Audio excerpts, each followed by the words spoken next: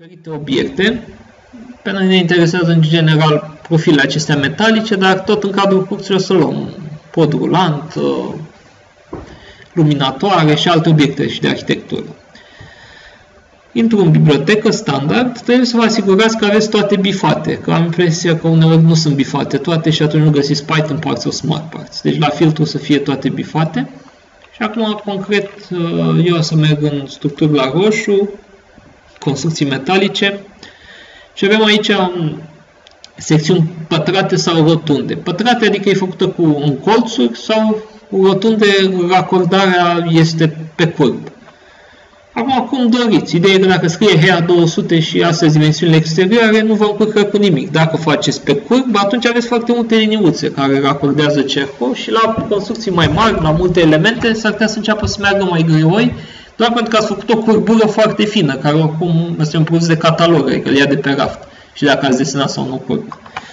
Um, de aia sunt două baze de date. Deci pot să aleg obiecte rotunde, pot 2D sau 3D, nu contează. Dacă iau 3D, uh, atunci el e de un metru, l-am pus și trag de el. Dacă e 2D, e o secțiune transversală pe care pot să o pun pe o grindă sau pot să o fac exact cum ați văzut mai devreme, transformare 2D și să-i dau un traseu. O să zic obiecte rotunde 3D, 1 pe 2 HEA și aleg aici un sortiment, HEA 200 și din bibliotecă la duc cu drag and drop și îmi poziționez aici profilul. Deci asta e un HEA 200 și ziceam plus un conector, o să rezulte chestia asta. El are o anumită lungime, vă când am dat cota totală, cred că o să fac de un metru, îl rotesc, rotire, liber 3D, aleg axa de rotire 90 de grade. Asta nu e nimic special aici. Și fiindcă e rotunjit, îl arată un pic mai special în 3D, în planșe o să-l arate mai cu minte. Ia, să nu pară așa urât, pot să-l aleg și să-i schimb suprafața.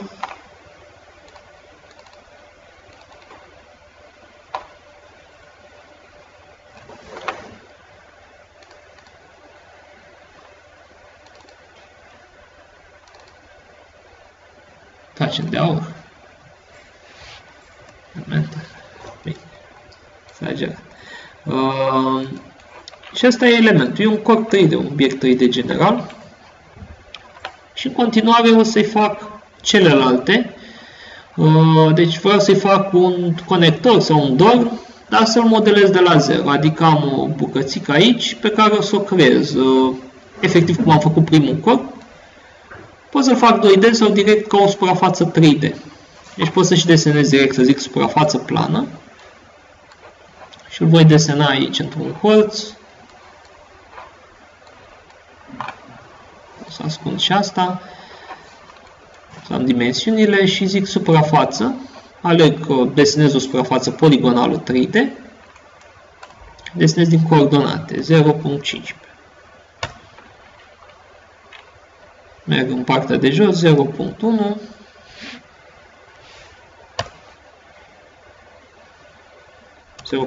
cinci în jos, cred că, da, 0.115, da, cred că era milimetri. Uh, hai să mai desenez o dată. Pot să dau și înapoi un punct, dar practic era de la început plecat greșit. Pot să trec chiar pe milimetri, ca să nu mai greșesc, trec milimetri și acum desenez detalii. Și scriu direct valorile între 15, 10, 5, 115 și aici fac același artificiu, deci vreau să termine pe jumătate. El e o suprafață 3D, nu se vede mare lucru din ea, că nu e mare lucru, e doar o suprafață plină, deci dacă desenez suprafață 3D, nu mai am nevoie de dubla transformare din linii, din linii 2D în 3D și din 3D în suprafață. Și acum o să zic că să obțin un corp de rotire. Unde e? Da, asta. Rotire. Selectez conturul, asta e axul și cam atât. Dacă nu vreau 360 de grade, scriu aici că nu vreau 360 de grade. Dacă vreau, doar dau un escape. și asta e obiectul pe care îl gătesc și pe el în plan. Rotire liber 3D. 90. Și acum îl poziționăm. Nu știu, l-am pus și așa. 75 și la 400. Ca să-l poziționez, îi zic o copiere.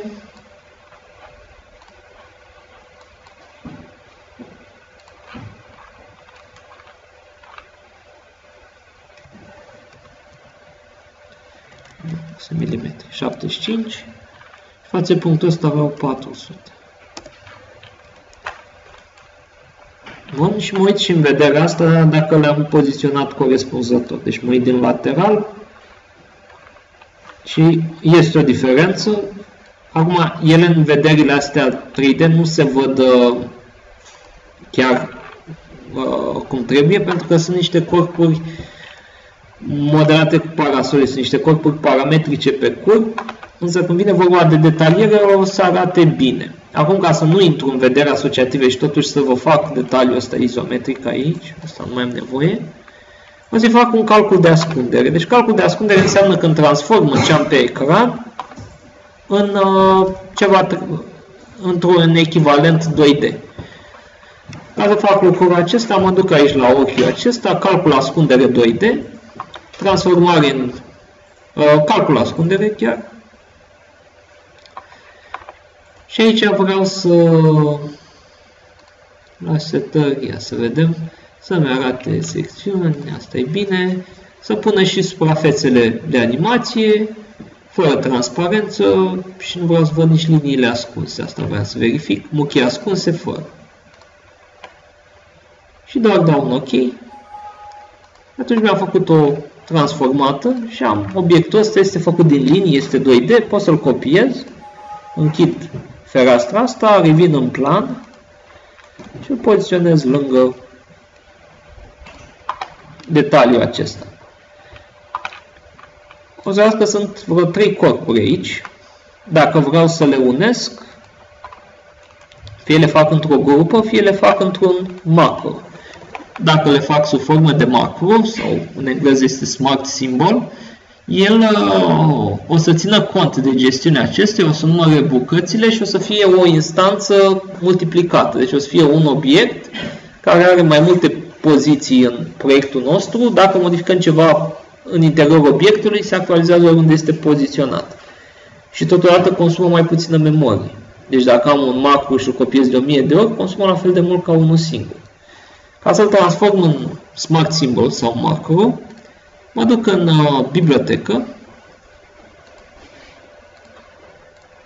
și aici pot să intru pe biblioteca proiectului. Deci în cadrul unui proiect, dacă fac niște obiecte interesante, pot să le salvez și să le utilizez și la alte proiecte sau în același proiect.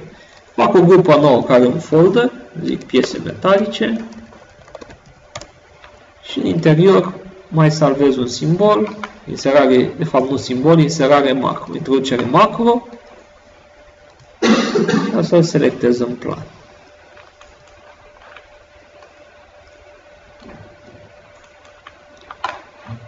De ce nu convine la asta? Macro nou. Da. Le zic că pe 1 sau dau un nume ansamblu 1, cum vreau eu la bucățile astea, definire folie și pot să aleg obiectul la găs de un punct și am aici mai multe folii. Care e avantajul unui macro? Eu pot să am un obiect foarte bine făcut în 3D. Se vadă spirala, șurub, se vadă orice la el, teșire, să am o plapumă și să vadă toate pliurile, însă pe planșă dacă o pun așa, sunt prea multe informații și prea multe liniuțe. Și atunci am opțiunea de a lucra cu obiecte 3D, care sunt în 3D modelate corect, cu toate detaliile, dar pe planșă să facă mai simplu, adică pe planșă aici să am un dreptunghi. Sau să am un dreptunghi și doar două liniuțe care marchează inima profilului.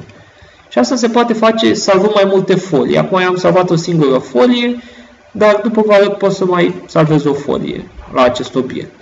Deci ăsta e macro A1, mi l-am salvat în bibliotecă. Momentan nu e mare diferență decât dacă activez mai multe monitoare și selectez. Deci aici pot să selectez separat obiectele, în timp ce aici e o singură entitate. Și avantajul e că în momentul în care încep să copiez acest obiect, el o să știe uh,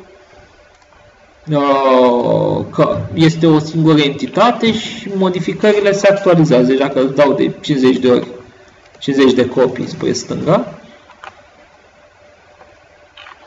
de 50 de copii, și acum fac o modificare în interiorul macroului, adică pot să dau click dreapta, modificare macro și am aici foliile definite, o singură folie definită pentru 1 la 50, dar în același timp pot să fac folii în funcție de scară. Gândiți-vă, am un vas de toaletă, la are un detaliu când te uiți 1 la 20, dacă pui pe un plan 1 la 100, e un dreptunghi, un cerc, o, un pătrățel, nimic mai mult, că după aia nu se mai înțelege, o pată neagră. Și atunci de asta e conceptul folii în funcție de scări. Și intru pe folia asta singură definită și pot să modific în folia macro, adică mă duce ca și cum ar fi un desen individual în care s-a creat, este exact un bloc ca în AutoCAD, sau să modific un fundal aici, cu fișierul în fundal, o să zic și așa, ok, și aici pot să fac o modificare la acest obiect. Dau un stretch, de exemplu, și să-i schimb culoarea. Mai lungesc cu jumătate de metru, milimetri, și se schimbă culoarea de la proprietăți, se dau altceva. E scump aurul, fac din alt material.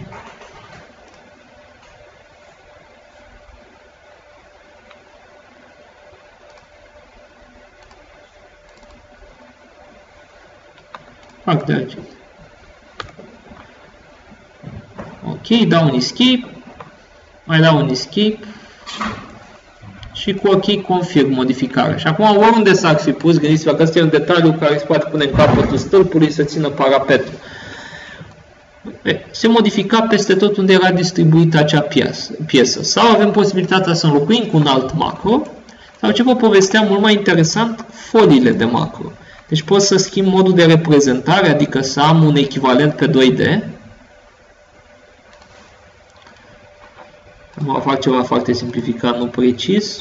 Deci vreau un plan să se vadă atât. Sau nici măcar, să vadă doar talpa de sus. Pot să fac acest lucru prin adăugarea unei alte folii, adică pot să zic modificare macro și mai creez o folie, definire folie nouă și o aleg și pe asta. Cu același punct de agățare. Și acum am două folii macro. Cea anterioară o pot folosi doar ca 3D, deci dezactivez 2D-ul iar atunci cealaltă implicit va fi, oricum era doar 2D posibilă, deci pe 2D se arate aceasta. Și aici varianta, folie A, folie B, deci pot să am diferite variațiuni, folie C. Îi dau OK și acum uitați ce se întâmplă. Asta cum era din linii. Bine, le-am înălțat că am agățat alt punct, nu era punctul de capăt, dar în orice caz, uitați cum arată macro. Deci este același obiect, dar arată foarte simplificat. Ne-am pus dornurile, nu-i nimic. Deci dacă nu voiam să prezint, ci vreau un profil să-l arăt așa, acum așa arată în plan, în celelalte vederi o să arate 3D. Dar asta ajută foarte mult, că pot să detaliez mult pe 3D, dar planșele să fie curate, să nu fie niște pete de culoare la scări mai mari. Și ați văzut că s-au actualizat toate după prima parte. La atribute pot să dau număr de bucăți, material și așa mai departe, lucrări, încât să le găsesc în listele de cantități ca obiecte, deci de câte ori s-a repetat obiectul respectiv, iar dacă îi dau numele, cum o să facem când atribuim, uh, punem atribute, și în detaliere, cine detaliază va ști toate informațiile despre acel obiect. Nu e nevoie să întrebe.